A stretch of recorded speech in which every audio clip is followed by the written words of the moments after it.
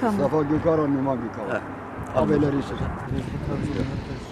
Kanun Rey'i 5-6 sene önce bir kez verdim de kabul edilmedi. E, en son 2021'de Bitlis'e gittim. Kanun Rey'i verdim. E, bir sene sonra bize döndüler. Dediler ki ya baba ya anne. İkisi de rahmete gitmişti. Bize geçen sene Haziran'da e, gittik bir de mezar açtık. Babam destek Üç, iki buçuk ay filandır denatesi tuttu. Bize sonuç geldi. Ee, iki aydan fazladır Bitlis'le diyalogdayız. Bitlis bize yol verdi.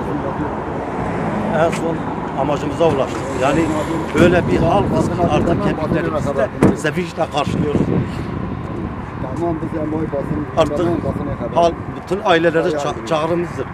Gelsin kemiklerine sahip çıksınlar. Bu gözyaşları sevinç gözyaşlarıdır. Tek tek ricam ailelerde bu kemikleri burada bırakmayın. Hiç kimse. Herkes Sizden rica gelsin. ediyorum. Gelin götürün kendi topraklarınıza götürün. Tek sizde beklentimiz budur. Diler Sakin benim bırakmasın. hepsi benim ailemdir. Ben Herkes kendi gelsin. kendi ailemi görüyorum. Sadece götürdüm kardeşim benim kardeşim değil. Burada yatanlar da benim kardeşimdir. Onların çizgi bize düşen görev onların çizgisini devam ettirmektir. Bir çağrım aileleredir. Gelin bu cenazelerde kahramanlarda sahip çıkın. Bak 23 senedir Tek peşindeyiz. Onlar da gelsin. Yani ağlamam benim gözyaşlarım sevinçtedir. 23 sene beklediğim gündür. Öyle bir halkız.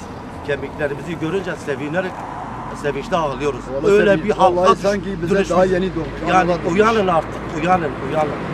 Uyanın. Kendinizi satarlar. Uyanın. Üç- 99'da 99 e, 12. ay 15. sınır dışı çağrısı yapıldıktan sonra Sayın Hocaların Hizan bölgesinde, Garzan bölgesinde şey düşmüş. O, o günden beri peşindeyiz. Size Amacımıza ulaştık. Çok şükür. Bütün ailelere de çağrımdır.